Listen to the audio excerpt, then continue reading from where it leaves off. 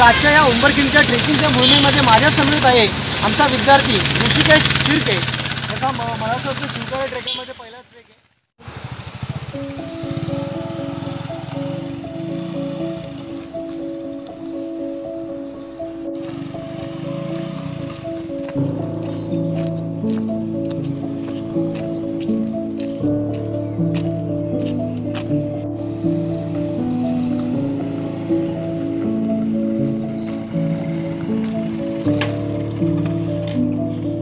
आता आपण आलेलो आहोत उंबरखिंडीमध्ये आणि उंबरखिंडीमध्ये आपण दाखल झालेलो आहोत आता. आणि आपली गाडी पार्क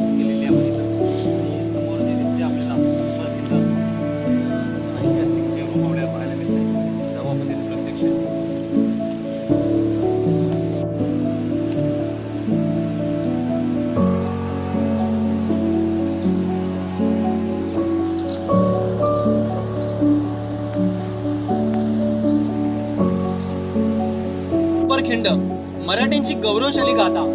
महाराजांनी अनेक लढाया केल्या असतील.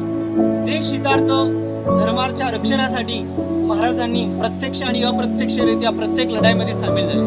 आणि त्यातली ही एकमेव एक लढाई या लढाईमध्ये महाराज स्वतः सहभागी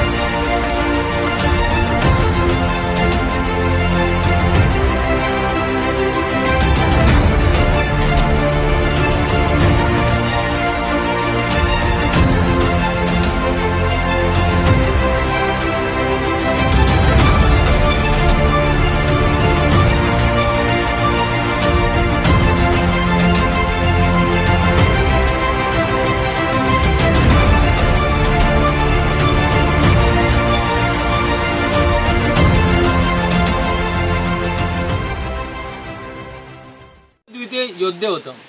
कमीत कमी सैन्यामध्ये जास्तीत जास्त विजय संपादन कसं करायचं हे महाराजांचा आपल्याला गनिमी गावा शिकवतो. कार्तब खान जेव्हा तीस हजार फौजेसह इथून उतरला होता पण त्याला हे माहिती नव्हतं की हा सह्याद्री असा आहे की जिथं वारालाही शिरताना परवानगी घ्यावी लागते. असा हा सह्याद्री की जिथे फक्त मराठा आणि वाघ आणि वारा फक्त फिरू शकतो. अशा या घनदाट ह्या अभयारण्यामध्ये ह्या उंबरखिंडीच्या या अरण्यामध्ये जेव्हा कार्तब खान फौजेचं उतरला फक्त त्याला अरण्य दिसलं.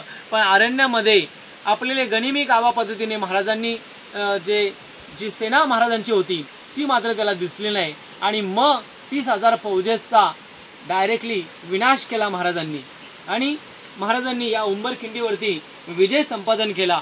आणि उंबरखिंडीचा ह्या लढाईमध्ये एक मात्र सांगावं लागेल की महाराजांनी आजवर जेवढ्या लढाया केल्या आहेत त्या बुद्धीच्या जोरावर केलेल्या आहेत. नुसती ताकद असून फायदा नाही आहे तर बुद्धीचं चातुर्य वापरून महाराजांनी बहुतेक लढाया जिंकलेल्या आहेत. आणि हेच बुद्धीचं चातुर्य महाराजांनी या उंबरखिंडीमध्ये वापरलं. कारण तसं जर कार्तब खान विसापूर आणि लोहगडावरून पण येणार होतं तेव्हासुद्धा विसापूर किल्ला आणि लोहगड किल्ला हे स्वराज्याच्या आतमध्ये होतेच. मात्र महाराजांनी तिथे कोणत्याही प्रकारे पारा न देता याच ठिकाणी या पूर्ण या अभयारण्यामध्ये पारा दिला होता. आणि पारा दिल्यानंतर मात्र महाराजांच्या बुद्धीच्या पुढे नतमस्तक त्यांना व्हावं लागलं आणि त्यांचा विनाश झाला इथं कर्तबखान्याचा. आणि तीस फौजेंचा तीस हजार फौजेंचा नायनाट केला इथं महाराजांच्या मावल्यांनी. मात्र ह्या लढाईमध्ये महाराजांच्या काही मावल्यांना वीर मरण आलं. आणि त्या वीर मरणाची यशोगाथा म्हणून आज इथं ही उंबरखिंड म्हणून आज आपल्याला इतिहासाला इथं साक्षीदार आहे. आणि कोटी कोटी वंदन महाराजांना आणि वीर मरण ज्या मावल्यांना आलं त्यांना नक्कीच पूर्णपणे मनापासून श्रद्धांजली. कारण आज जो हा इतिहास लाभलेला आहे तो आज आम्हाला महाराजांच्या मुलं आज इथं गडकोट वगैरे किंवा असतील जे आम्हाला पाहायला मिळतं आहे तर अशा प्रकारे ह्या उंबरखिंडीचा इतिहास आपण आपल्या ह्या व्हिडिओच्या माध्यमातून जाणून घेतला.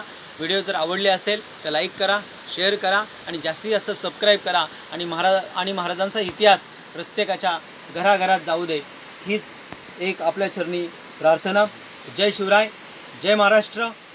जय भवानी. जय शिवाजी.